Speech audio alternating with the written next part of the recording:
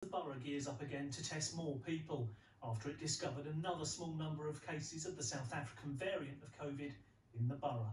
This is phase two of our surge testing.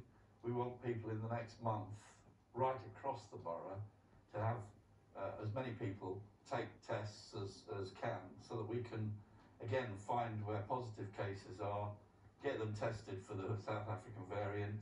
So that is the code to your test. Three weeks ago, Ealing was one of three London councils doing surge testing after a case of the South African variant was discovered. It did door to door testing as well as using pop up centres. Ealing was alongside Haringey and Merton in that first wave. Since then, cases have been found and extra testing ordered in Broxbourne and Woking, in Lambeth and Croydon, and in High Wycombe and Redbridge. But so far, no boroughs have had any results back from their earlier surge testing. Despite ordering the testing as a matter of urgency, the health authorities haven't revealed the results. We've been given promises that there are uh, urgent efforts to speed up the uh, return of those test results, and as yet we've we've we've not seen them come back. So you know we've been asking for for some time for them, and it is uh, more than frustrating. But uh, hopefully we'll get them soon, and, and people will know.